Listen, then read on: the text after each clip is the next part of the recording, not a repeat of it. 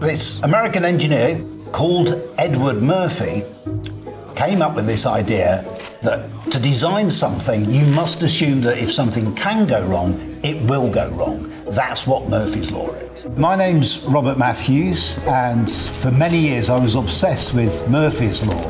And in 1996, I decided to look into Murphy's Law of Toast.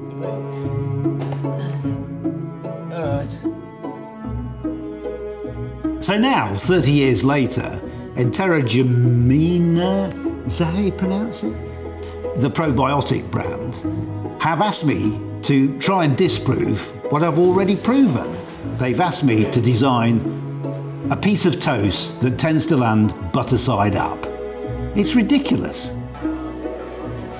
This is not going to end well.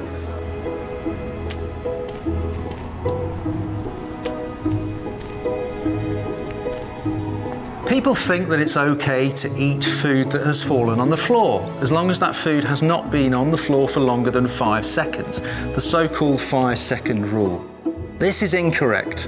As soon as food touches the floor, it can become contaminated with potentially harmful microorganisms such as bacteria and fungi.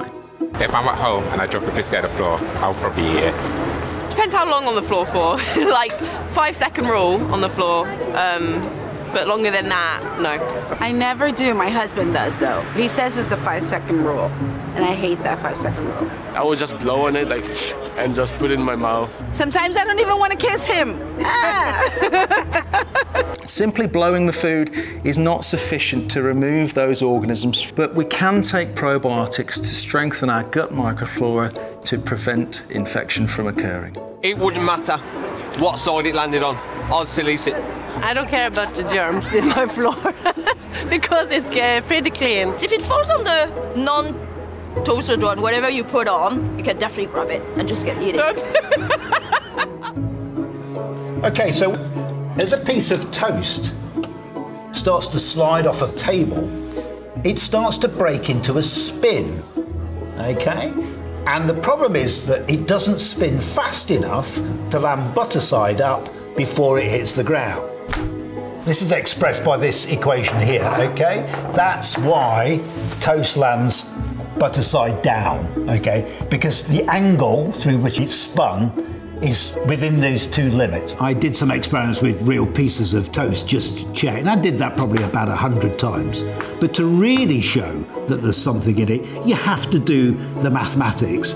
And I found that Murphy was right, that toast really does tend to land butter side down. When I published the paper in the scientific journal, I got a huge amount of media coverage. I mean, you know, in the British media, on the front page of Scientific American, TV companies, uh, film crews from Germany, Brazil, America. I got a call. They said, Robert, we want to give you the Ig Nobel Prize for Physics. I even got a letter from the chief scientific advisor to Her Majesty's government. So they were all just fascinated by it. If I dropped some food at home, would I eat it? Yes. When I was asked to come up with a solution to Murphy's Law of Toast, I thought, well, how am I going to do that?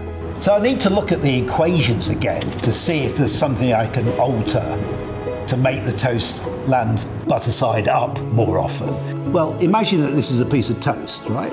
As it slides off a table, maybe we can change how fast a piece of toast spins on the way down, or how long it takes to hit the floor. But there are other factors as well, like friction and also aerodynamics. If it flies off, there'll be some effect that might keep it the right way up. I don't know. We're going to have to do some research.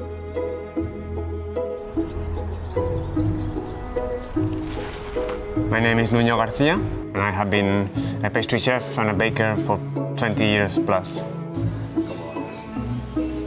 I have been able to achieve many Michelin stars for some chefs. I've worked in London, um, New Zealand, Australia. To be honest, I've had many challenges in my career, but this was one of the biggest challenges. I didn't quite understand the physics of it, so I wasn't sure about if it was a matter of size or shape or um, ingredients. Okay, good morning, everybody. We're here today to learn about the science of Murphy's Law of Toast. It's all about the angle at the end. We've got to find a way of either getting less rotation or more rotation. We've got to keep out of that zone. So there are three basic things we can do. First one is changing the height of the table.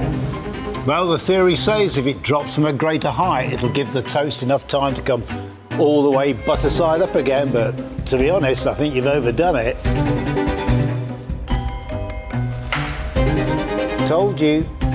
So the second strategy we've got is going to be to try and do something about the size and shape of the toast. Welcome to the bakery. Yeah, it's like a laboratory here. Yeah, it is. We're gonna make round ones, Yeah. um, square, Right. triangles. We can even try a boomerang effect. Okay. yeah, it's worth a try. Finally, we've got aerodynamics. Uh, Robert, uh, one thing, you've spoken about length, but you never speak about mass. Does it make any difference? Yeah, it's a great question. So, no, it doesn't. And the reason is that when the toast leaves the table, it's under free fall. And so gravity no longer matters. And that's called the principle of equivalence, and it's a mystery of science. So, aerodynamics, that means that as it goes over, it hardly spins at all. It basically flies off the table, and so it doesn't get into that Murphy zone because it hasn't spun at all.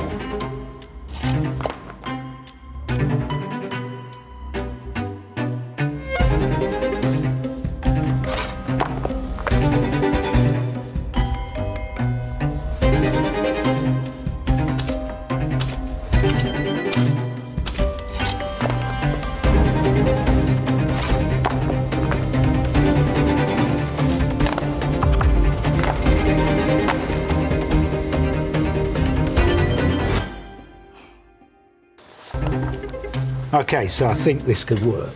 So the basic idea is this quite short, okay, and it's quite thin. The hole could be quite important because it reduces a bit of friction. Think you can make it? I think so. Okay, great.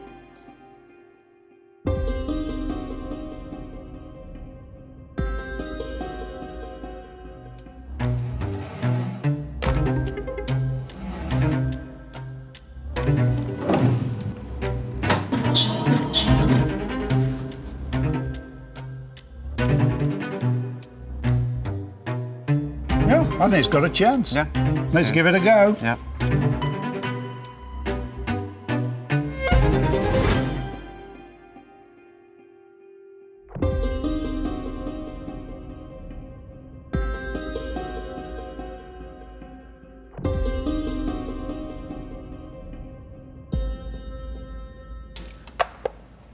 Yeah. Finally.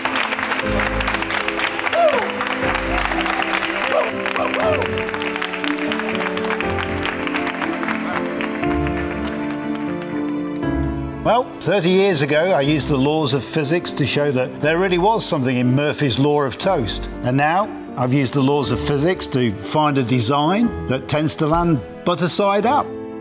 So, pretty pleased with that.